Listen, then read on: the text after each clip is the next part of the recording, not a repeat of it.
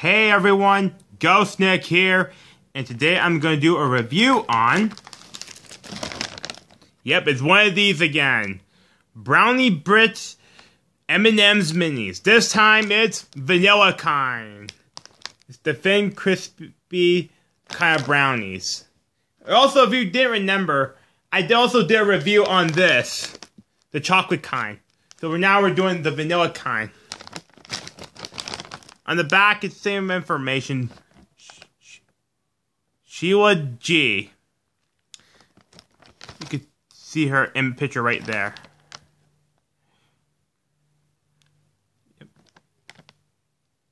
You could pause and you could read that. It's probably the same information like the previous one.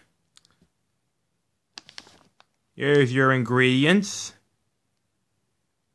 Pause, you could read that as well. I'm not gonna read that because you saw me do the review on the chocolate kind. So go check that one out if you don't remember this. It's 130 calories. What was the other one is? 120 calories.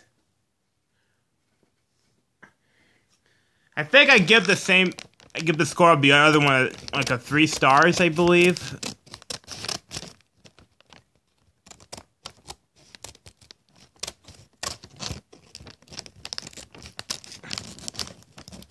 Uh, to cut it open. There you go. Let's open it up. Would it be taste like vanilla? It's not French vanilla. On the inside.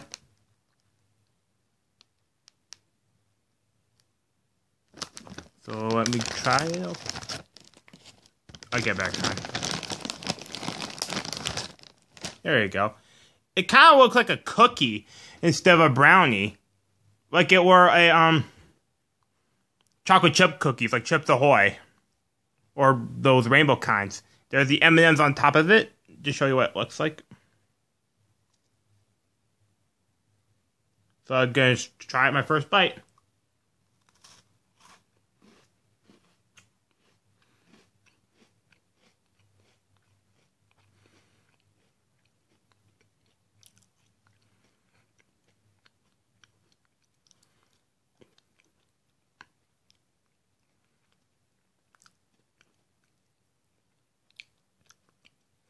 It tastes like one of those sugar cookies. That's what it tastes like. Those sugar cookies.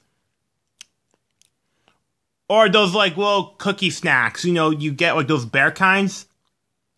It tastes like one of those. Those bear crackers. Or animal crackers. Or, That's what it feels like. Mm-hmm. Yeah, it tastes the sugary.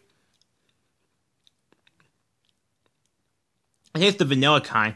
It, it feels more like it were those um those cracker animal crackers kind of thing, or those one with the bears. Not bear paws. It's those like taste like those bear vanilla bears. Like I don't know I'm talking, but it tastes like those kinds.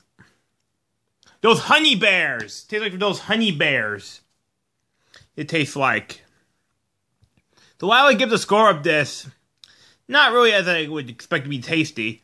I would give it a two stars out of five. Not that tasty.